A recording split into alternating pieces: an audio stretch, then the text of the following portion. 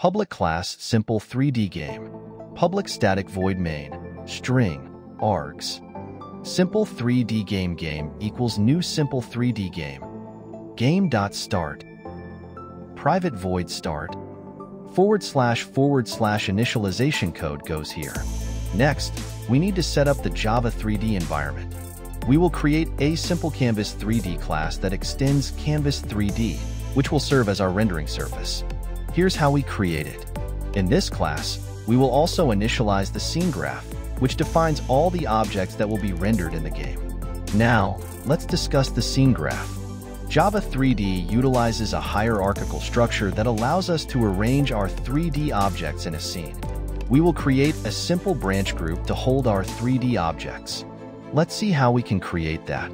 The branch group is the root node of our scene graph, and we will add shapes to it later in the tutorial. In the next step, we'll add geometric shapes to our scene.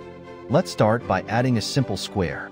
To create this shape, we can use the box class from Java 3D, which makes things much easier. Here's how you can create a box and add it to the branch group. By doing this, you'll be able to see a 3D box in your Java application. Let's also add a simple light source to illuminate our shape. Java 3D uses light sources to enhance the visual effects of the objects in the scene. We can add a point light and set its location. Here's how you do it. This point light will illuminate the surroundings of the box we created. Up next, let's compile and run our code so far. Make sure you have all your dependencies set correctly, compile the Java files, and run the application. You should see a window popping up with a simple 3D box illuminated by the light source. If you see it, congratulations! You've just created your first 3D scene in Java. Now, let's explore how to interact with our game. Adding interactivity is crucial for game development. We will implement mouse controls to rotate the box using a mouse rotate behavior. Here's how we can set that up. Using mouse controls, users will be able to manipulate the scene graph and interact with the 3D objects. Now, let's create a transform group that will hold our 3D objects and allow us to apply transformations like rotation. We should modify our create scene graph method to include this. Transform groups are very important for applying translations, rotations, and scalings to the 3D objects in your scene. We've now set up mouse controls for our application. Let's run the application once more and see how we can interact with the box by dragging the mouse. You should be able to rotate the box around its center. To enhance our game further, let's add keyboard controls as well. We can control the rotation speed of our box. Here's how we can implement that using the key listener interface.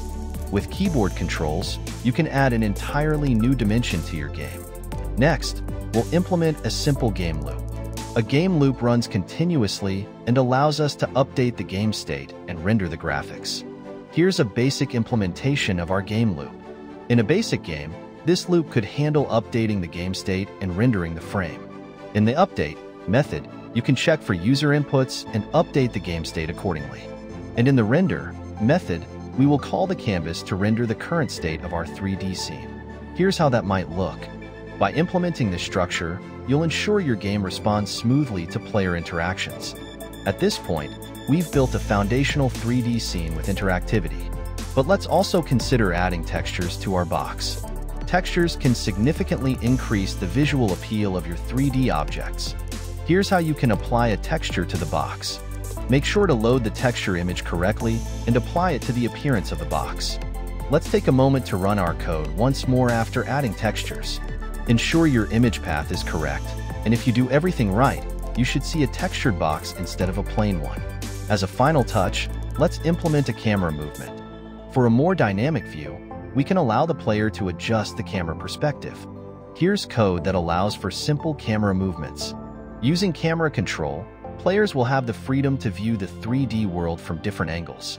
Make sure to handle the input correctly within your key pressed method to adjust your camera when necessary, giving your game a more immersive experience. And finally, let's wrap things up with our game. We've covered a lot today. You've learned how to create a simple 3D Java game, implement basic interactivity with mouse and keyboard events, add lighting, textures, and camera movements. The concepts we've learned can be expanded into more complex games and applications, and I encourage you to explore further. Don't forget to experiment with different shapes and features. If you found this tutorial helpful, please like, subscribe, and hit the notification bell for more tutorials. Share your projects and experiences in the comments. Thank you for watching, and happy coding!